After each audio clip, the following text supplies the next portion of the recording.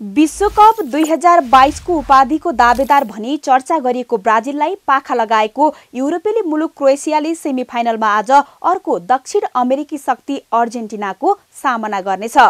नेपाली समय अनुसार बुधबार बिहानको राति बाह्र पैँतालिसमा हुने खेल रोचक हुनेछ। क्रोएसिया र अर्जेन्टिना फुटबलको अन्तर्राष्ट्रिय मञ्चमा छैटौं पटक आम्ने सामने हुँदैछन् र यी दुवैका लागि आजको जित फाइनल खेल्नका लागि अनिवार्य हुनेछ। पेनाल्टी सुटआउटमा ब्राजिललाई स्तब्ध पार्दै क्रोएसियाले चमत्कारिक खेल देखाएको थियो। क्रोएसिया अन्तर्राष्ट्रिय फुटबलको उच्च स्तरमा नाटक गर्न माहिर छ। अन्तर्राष्ट्रिय स्तरका प्रमुख आठ खेलहरूमा अतिरिक्त समय लगाउँदै अघि बढेको छ क्रोएसिया। ब्राजिलसँगको क्वार्टर फाइनलमा पनि नब्बे मिनटसम्म रोकेको क्रोएसियाले विश्वकप प्रतियोगितामा पछिल्ला पाँच नकआउट खेलहरूमध्ये पाँच खेल अतिरिक्त समयमा गएका छन्। क्रोएसियाले पेनाल्टीमा चार खेलमा जित निकालेको छ। बचत सबैभन्दा बेस्ट। बचत खाता। यो हो सर्वश्रेष्ठ। यो हो सर्वश्रेष्ठ। दुई हजार अठारको विश्वकपमा नब्बे मिनटमा क्रोएसियाले सिद्ध्याएको तथा हार बेहोरेको फाइनल खेल मात्र थियो। जारी विश्वकपमा पनि उसले सोही रणनीति अख्तियार गरी आएको छ। अर्जेन्टिनासँगको खेललाई पनि उसले दबावमा राख्ने तयारी गरेको छ। मुख्य प्रशिक्षक जलातको डालिकको रणनीति अहिलेसम्म सफल देखिएको छ।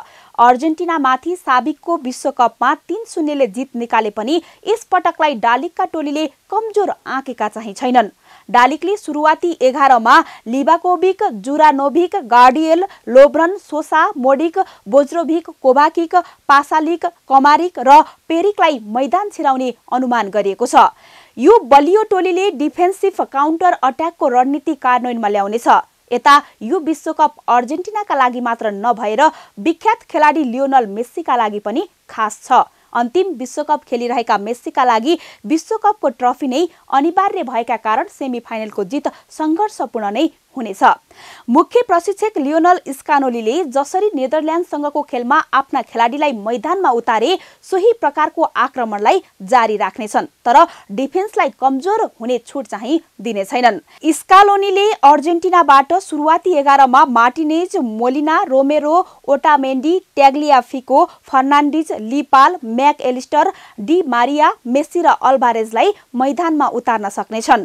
साबिकको उपविजेता तथा खेलमा असम्भव नतिजा उल्ट्याउँदै सेमी फाइनलसम्म आएको क्रोएसियालाई स्कालोनीले कमजोर ठानेका छैनन्।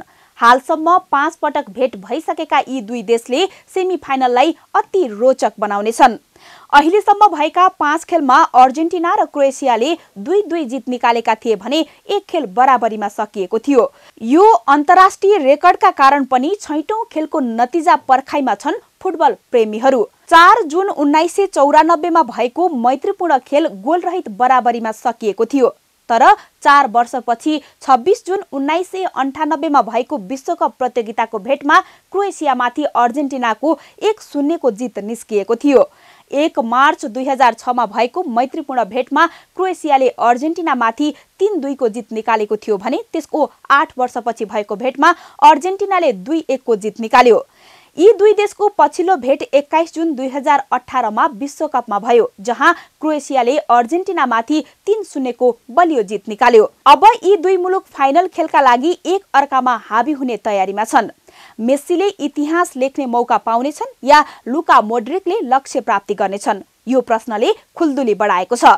विश्वका फुटबल विश्लेषकहरूका अनुसार पहिलो सेमी फाइनलको यो खेल एक सय बिस मिनटसम्म पुग्नेछ। यो समय अवधिमा अर्जेन्टिनाले इतिहास रच्दै दुई एकको जित निकाल्ने फुटबलका जानकारहरूको अनुमान छ। तर अन्तिम समयसम्म पनि नतिजा उल्ट्याउँदै आएको विश्व उपविजेता क्रोएसियालाई नजर अन्दाज गर्न भने चाहिँ मिल्दैन।